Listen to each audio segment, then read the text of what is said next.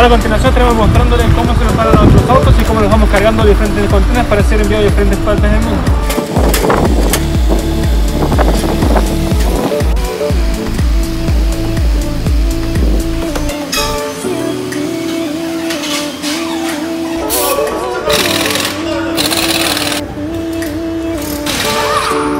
Ahora estamos en la parte de embarques. Esta es la parte donde se embarcan los containers. Tiene la capacidad de hasta por lo menos dos autos que se acomodan de esta manera para poder tener la mayor cantidad de espacio y también se atan